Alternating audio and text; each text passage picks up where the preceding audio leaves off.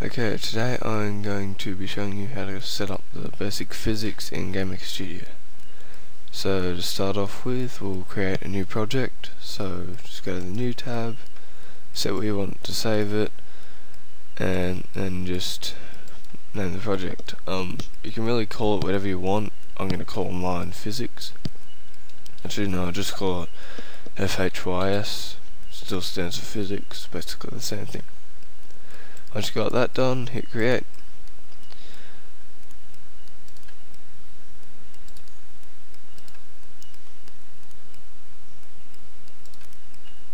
Okay. Now this is actually a remake of uh, the original two tutorials I had up before because they were done in Notepad I figured I should probably redo them just with the microphone to make things you know easier because Notepad tutorials aren't all that great.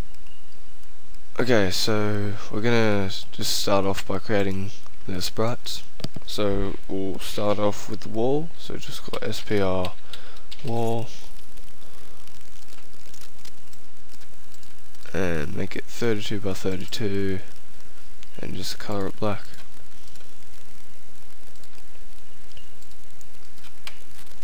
Okay, then we're gonna make a box call it SPR box. 32 by 32 again. And I'm just going to colour that brown. Doesn't really matter what colour you make these. Uh, then we'll make a circle. So just call it SPR circle. And make that 32 by 32 as well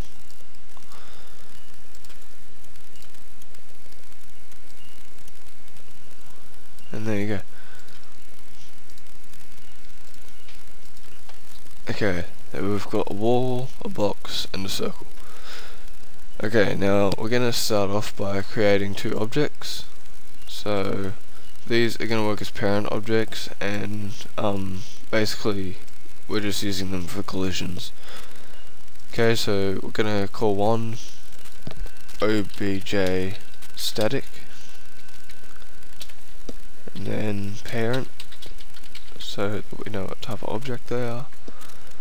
Um, tick that off and then create another one and call that one obj uh, totally forgotten what the word is. Ah yes um call it obj dynamic parent Yep, just like that.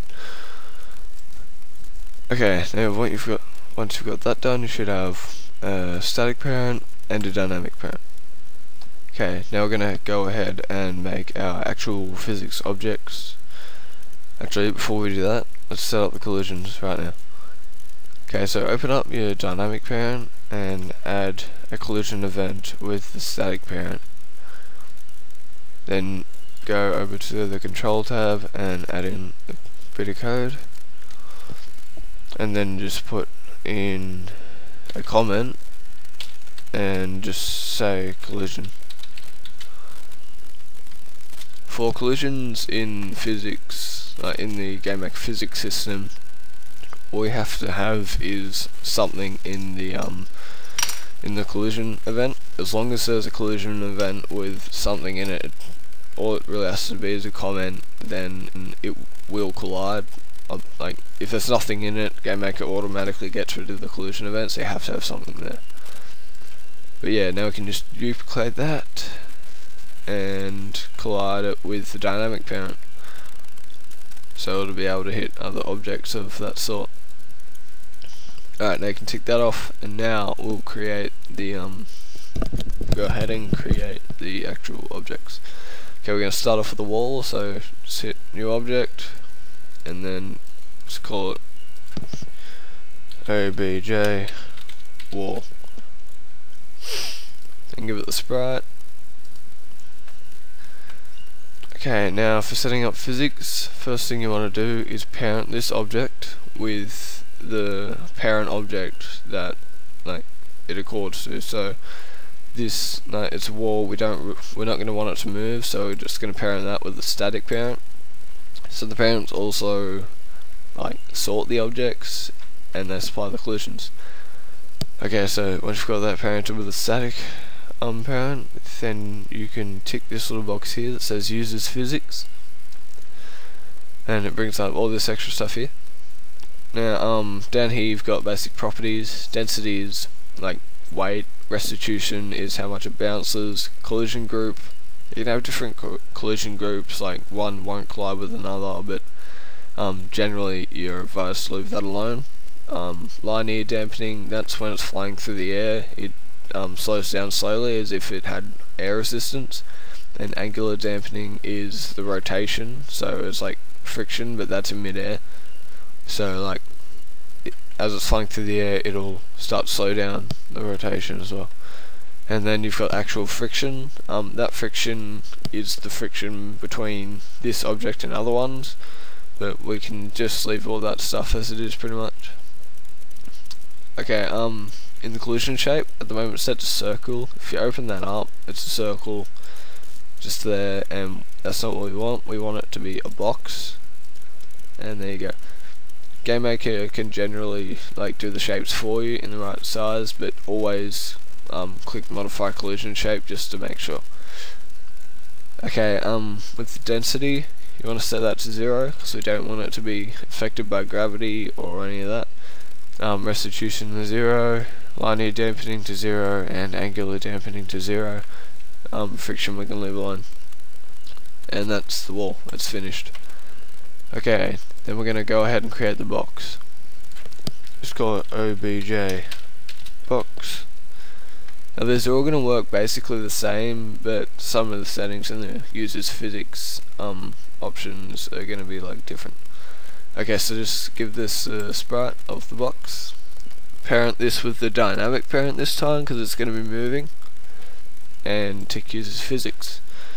Set the collision shape to box make sure it's a box and then you can leave all these settings alone because they're already set up right for a moving object. Okay then you can just tick that off. Alright now we're gonna create another object for the circle. So just click create object. Call it obj circle. Give it the sprite. Tick uses physics. Um, parent it with the dynamic parent. Now the collision shape for this one, we're going to want it to be a circle. That's already correct. So can hit OK to that, and that's the circle finish as well. Now we just set up the room and chuck some stuff in it, and it should all be working. Okay, so create a room. Just make that a bit bigger and then just start adding in your objects so we'll start off by creating like a floor so just like that. Um, chuck in a few boxes around the place so we can get the basic simulation and put in some circles just randomly, it doesn't really matter where you put them just going to lower my grid size to 16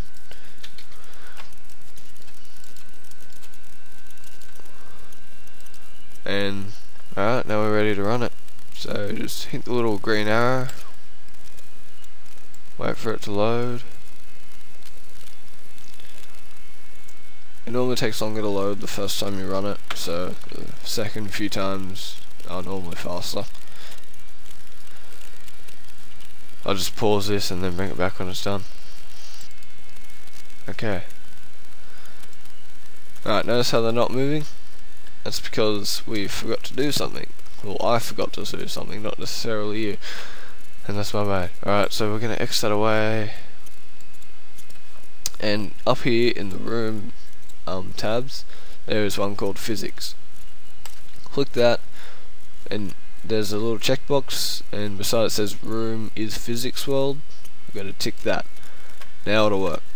If you don't tick that, it's not going to work. Um, unless you set it up in the code itself but to keep it simple we're not going to be doing that okay there we go there's the physics all set up Now there's one more shape type that you can set them to, and that's um, like a polygon.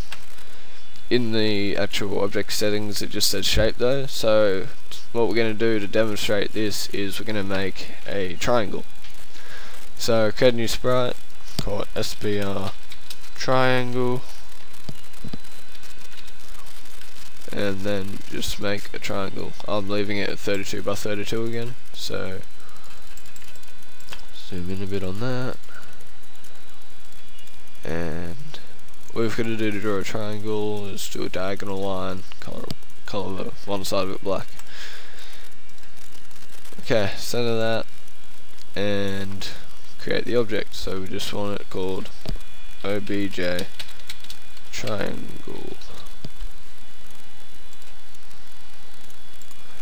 Alright, um, give it the sprite, parent it with the dynamic parent, and tick uses physics. Then up here in the collision shape, this is where it gets different. You want to tick shape, modify it, and see these points here. You can drag them around, add in extra ones wherever you want really, and um, right click them to get rid of them. This is to outline the different sprites or shapes that you might have.